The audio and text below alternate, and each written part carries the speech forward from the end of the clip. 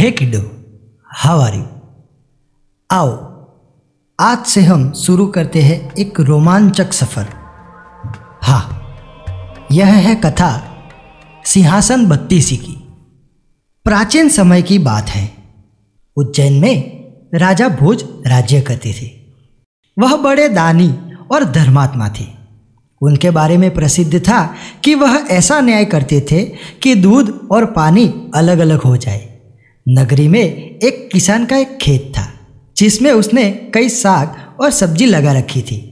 एक बार की बात है कि खेत में बड़ी अच्छी फ़सल हुई। पूरी ज़मीन पर तो खूब तरकारी आई, लेकिन खेत के बीचों बीच थोड़ी सी ज़मीन खाली रह गई। हालाँकि किसान ने उस ज़मीन पर भी बीट डाले थे, लेकिन वहाँ कुछ नहीं उगा। किसान ने वहाँ खेत की रखवाली के लिए एक मचान बना लिया। जब भी किसान मचान पर चढ़ता, अपने आप चिल्लाने लगता, कोई है? राजा भोज को पकड़ लाओ और सजा दो। मेरा राज्य उससे ले लो। जाओ, जल्दी जाओ। सारी नगरी में यह बात आग की तरह फैल गई और राजा भोज के कानों में पहुँची। राजा ने कहा, मुझे उस खेत पर ले चलो। मैं सारी बातें अपनी आँखों से देखना और कानों से सुनना चाहता हूँ। राजा भोज जब उस जगह पहुँचे तो उन्होंने भी वही देखा कि किसान मचान पर खड़ा है और कह रहा है, राजा भोज को फ़ौरन पकड़ लाओ और मेरा राज्य उससे ले लो। यह सुनकर राजा चिंतित हो गए, चुपचाप महल में लौट आए। उन्हें रात भर नींद नहीं आई। सवेरा होते ही उन्होंने राज्य के ज्योतिषियों और जानकार पंडितों को इकट्ठा किया। उन्होंने अपनी गोपनीय विद्या से पता लगाया कि उस मचान के नीचे कुछ छुपा है। राजा ने उसी समय आज्ञा दी कि उस जगह को खुदवाया जाए। खोदते खोदते जब काफ़ी मिट्टी निकल गई तो अचानक एक सिंहासन प्रकट हुआ। सिंहासन के चारों ओर आठ आठ पुतलियाँ, यानी कुल बत्तीस पुतलियाँ खड़ी थी।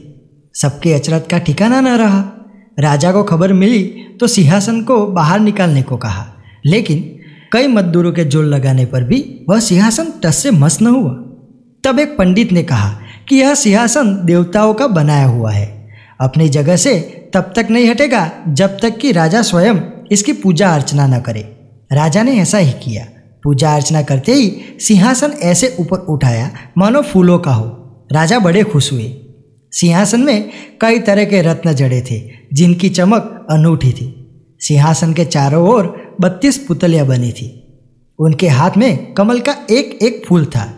राजा ने हुक्म दिया कि खजाने से रुपया लेकर सिंहासन दुरुस्त करवाए। सिंहासन सुंदर होने में पाँच महीने लगे। अब सिंहासन दमक उठा था। जो भी देखता देखता ही रह जाता। पुतलियाँ ऐसी लगती, मानो अभी बोल उठेगी।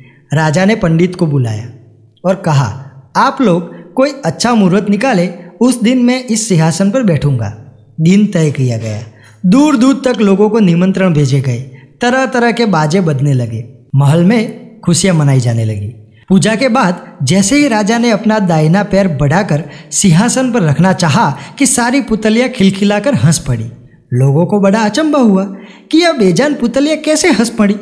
राजा ने अपना पैर खींच लिया और पुतलियों से पूछा, ओ सुंदर पुतलियों सच सच बताओ कि तुम क्यों हँसी?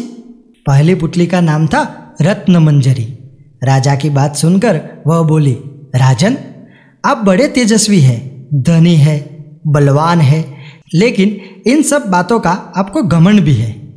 जिस राजा का यह सिंहासन है, वह दानी, वीर एवं धनी होते हुए भी विनम्र थे, परम दयालु थे। राजा बड़े नाराज़ हुए। पुतली ने समझाया, महाराज, यह सिंहासन परम प्रतापी और ज्ञानी राजा विक्रमादित्य का है।